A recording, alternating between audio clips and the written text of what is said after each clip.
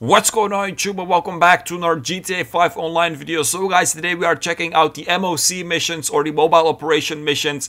They are double cash this week and also if you complete one of them this week, so before next Thursday, then next week you will receive a bonus of 100k. I know it's not a lot, but it's definitely an easy bonus that you guys can get.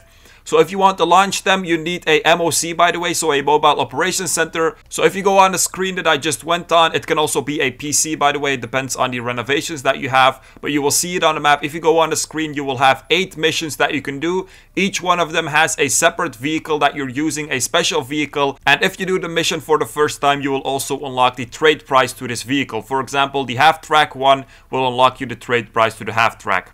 One tip that I can give you guys is Maybe ask a friend because it's very hard to fill a lobby, I have to be honest. And also, of course, put it on hard mode.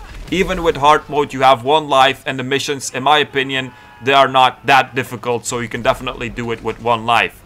So the one that I'm doing over here, for example, the weaponized Tampa, this is a pretty easy one. You just have to take out two signal jammers. They will be on vans. Then you have to go to the Elijah Islands, search for the guy, for the agent. You won't find him. And then basically you will have a cutscene where he drives away. So just drive around the island a little bit and then you will have this cutscene, chase him down, kill him, and then return the weaponized Tampas and then the mission is done.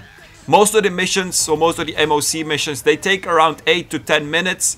And then the payment for most of them is the same. It's around 27k, guys, which is okay, I guess. It would have been nicer if it was triple cash. Then it would be like 40k, but still with double cash. It's decent money and the missions are also pretty fun.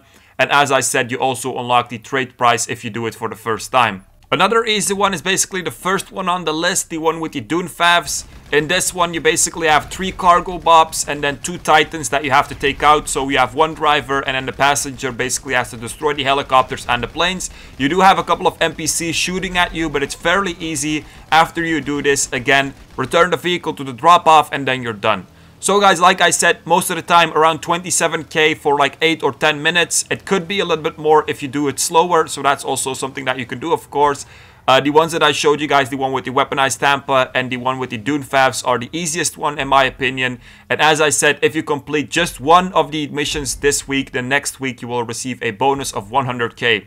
So guys, that was it. Make sure to like, subscribe, check out my Discord in the description, and peace out you guys.